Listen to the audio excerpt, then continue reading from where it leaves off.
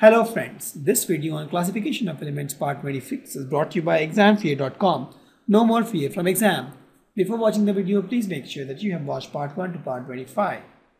In the term of periods and group, where would you locate element z is equal to 114?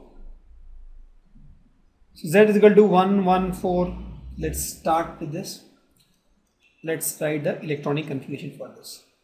So this is 1s2, 2s2, 2p6 10 elements done. 3s2 3p6 4s2 3d10 4p6 5s2 4d10 5p6 6s2 4f14 5d10 6p6 7s2 5f14 6d10 and then 7p2 so this guy is the electronic configuration of 114 correct? How i wrote this using the above principle. It's very simple actually. If you don't understand this please watch my previous chapter. Atomic structure where i explained how to write the electronic configuration. So this is my electronic configuration so now I have to find which group it belongs to. So if you see,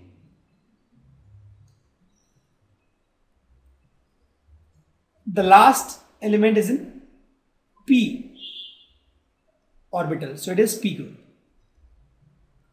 Let's find the period.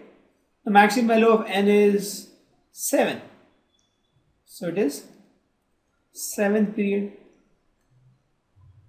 7th period and P group or 7th P block actually I can say. This belongs to P block 7th period. Which group? So group I have to find for this. So I know that for P group the group number is 10 plus valence electrons. So the valence electrons in p orbital I have 2 here and I have 2 here. So 2 plus 2 4. So there are 14 valence electrons. This belongs to 14th group. 14th group 7th period and p block. So this is my answer. So if you see just by the electronic configuration I can tell which group it belongs to. Correct.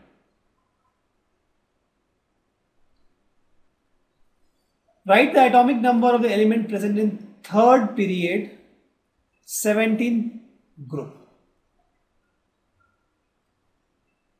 Please note it is third period 17th group.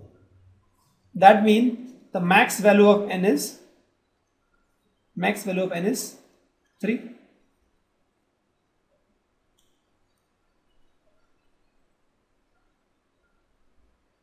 correct. And 17th period is nothing but my p group. These things I know. So we start with third period. That means it should be somewhere here. Is third period that means third period starts here and third period ends here. Right? From here fourth period start. So it is between these elements. Any of these. Correct see it is in third period so it is either of these electrical configuration will be. Now it says my group is 17 so group is 17 for so group number for p period is nothing but 10 plus number of valence electron. And this is 17 given. So my number of valence electron is 7 17 minus 10 so let's put 7 valence electron here. So 1s2, 2s2, 2p6 is something which is there already. So I would put 7 valence electrons. I'll say 3s2 and 3p5. 7 valence electron I put. So this is my element I'm talking about. what is the atomic number for this? Atomic number is 10 plus 7. 17 is the atomic number for this. 17 atomic number is this. That means I am talking about chlorine. Correct?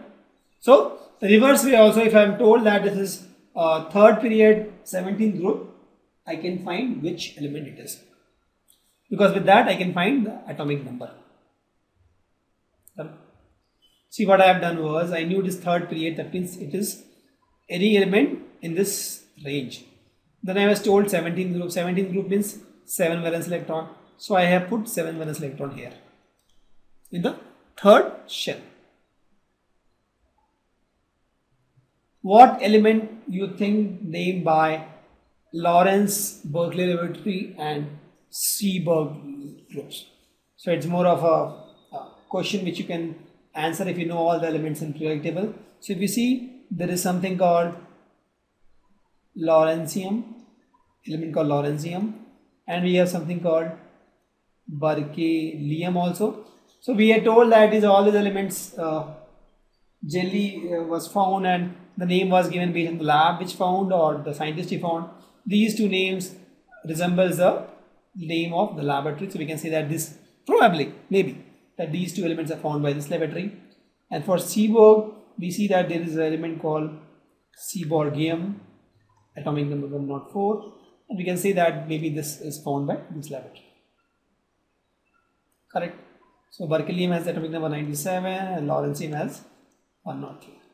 So just we knew that earlier the uh, the trend was the lab or the scientists who found this uh, element they used to name the element after them so this could be the elements just guess not 100% why do elements in same group have their similar physical and chemical property if you see elements in same group have same number of valence electron right? And valence electron is something which determines the physical and chemical property a lot. Not the only factor but the other factor also but valence electron is one of the critical factor and that's the reason if you see all the elements in a group right if you take all this group lithium sodium potassium rubidium all these have one valence electron if you take this group beryllium, magnesium, calcium, strontium. These have two electrons, valence electron, right? If you take this guy, fluorine, chlorine, bromine, iodine, they have all seven electrons. So the number of valence electrons determines the physical and chemical property a lot and all the elements in a particular group have same number of valence electron and that's why they have similar physical and chemical property.